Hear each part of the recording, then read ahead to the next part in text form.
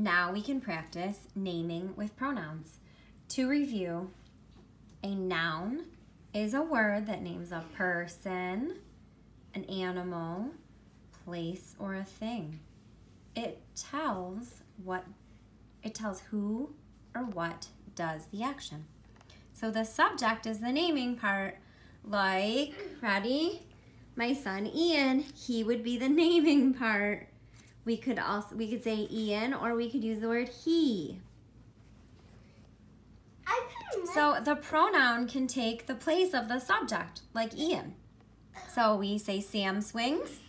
The subject is Sam, that's the person, he's the noun. And he swings in the playground. The pronoun, that's what we're learning, is the word he.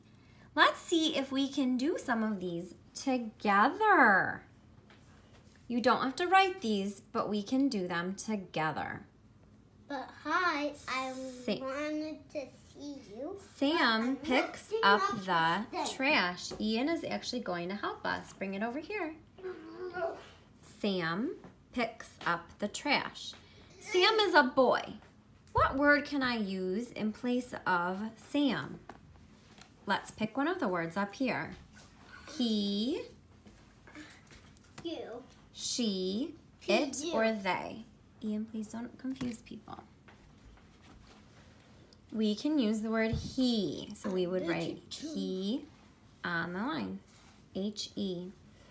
Let's try the next one. Jill. Jill is a girl. Jill, Joe is the girl.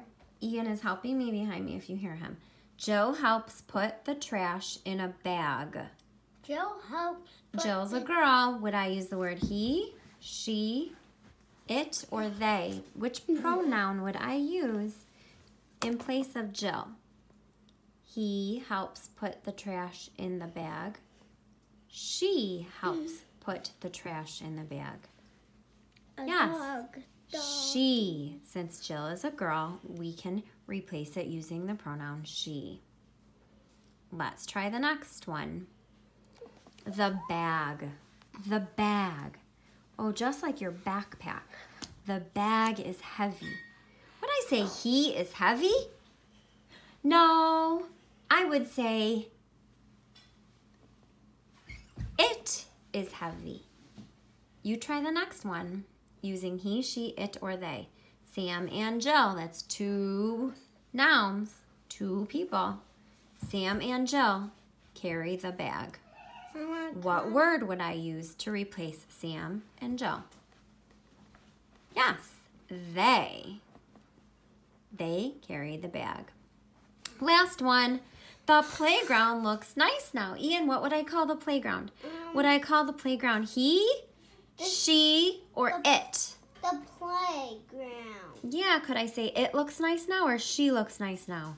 She looks nice. Is Ian right? No, let's try again. The playground could be replaced by the word it.